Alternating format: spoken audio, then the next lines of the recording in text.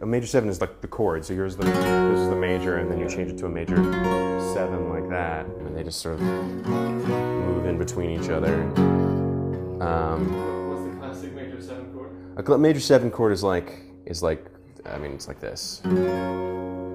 It's happy sounding, but has this kind of like schmaltzy, like maudlin. It's kind of silly. It's like a silly, almost like cartoon kind of happiness, like flowers and uh, sunlight and, and uh, soft focus lenses.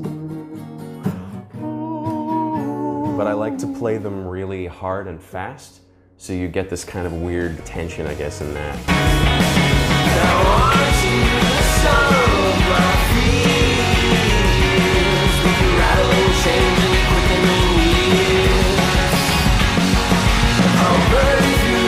When Harlem Shakes blew up on the internet, the band got this weird, like, posthumous bump in attention. We got 20,000 new Twitter followers in like six weeks or something like that. It was really crazy. It was like if my band was called Grumpy Cat. Why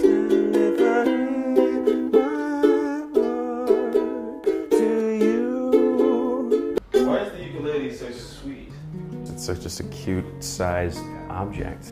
You just want to figure it's it needs taking care of. You know, it's like it probably can't take care of itself.